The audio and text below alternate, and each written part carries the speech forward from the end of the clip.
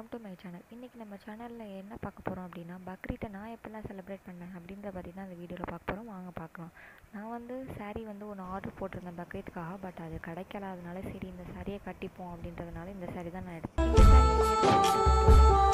வந்துட்டு நாங்கள் வந்து கடகடன் சமையல் வேலையை ஆரம்பிச்சிடலாம் அப்படின்னு சொல்லிட்டு கறியெல்லாம் கழுவி வச்சுட்டு பட்டை கிராம்பு ஏலக்காய் வெங்காயம் தக்காளி அப்புறம் கேரட்டு பச்சை மிளகா புதினா கொத்தமல்லி லெமன் தயிர் இது எல்லாத்தையுமே நாங்கள் எல்லாத்தையும் ரெடி பண்ணி வச்சுட்டோம்.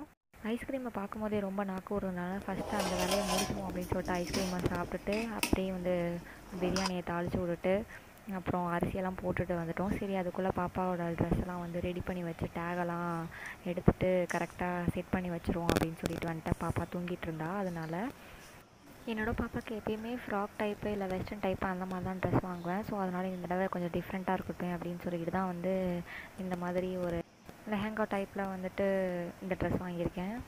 மார்னிங்கே வந்துட்டு பாப்பா ஃப்ரெஷ் ஆகிட்டு காட்டன் ட்ரெஸ் போட்டிருந்தாங்க. இப்போ கொஞ்சம் ஒர்க் ட்ரெஸ் மாற்றலாம் அப்படின்னு சொல்லிட்டு நான் அந்த ட்ரெஸ் எடுத்து வச்சுருக்கேன்.